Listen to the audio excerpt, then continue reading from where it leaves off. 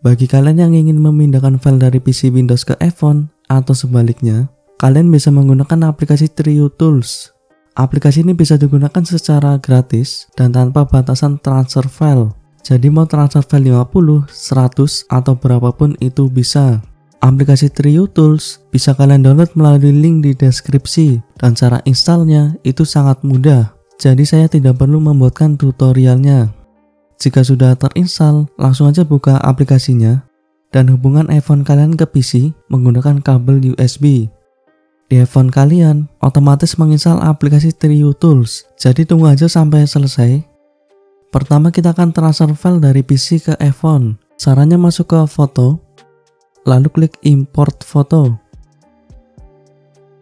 Di sini saya akan transfer file foto dan video ini. Pastikan di iPhone kalian membuka aplikasi Trio Tools agar proses transfer file bisa berjalan. Lalu tunggu prosesnya sampai selesai. Selanjutnya saya akan transfer file musik, jadi masuk ke musik. Import file dan pilih file musiknya. Lalu tunggu prosesnya sampai selesai. Dan terakhir, saya akan transfer file PDF. Caranya masuk ke Books. Klik import file, pilih file PDF-nya, dan sudah selesai. Setelah itu kalian bisa cek di iPhone kalian. Foto dan video yang tadi ditransfer bisa kalian temukan di aplikasi foto. Lalu file PDF bisa kalian temukan di aplikasi buku.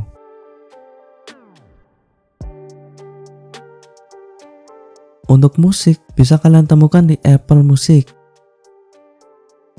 Selanjutnya kita akan transfer file dari iPhone ke PC. Caranya masuk ke foto, lalu pilih foto dan videonya.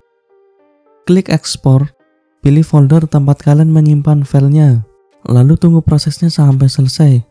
Setelah itu kalian bisa cek foto dan videonya di PC. Jika kalian ingin memindahkan file lain juga bisa ya, tinggal sesuaikan saja dan caranya pun sama.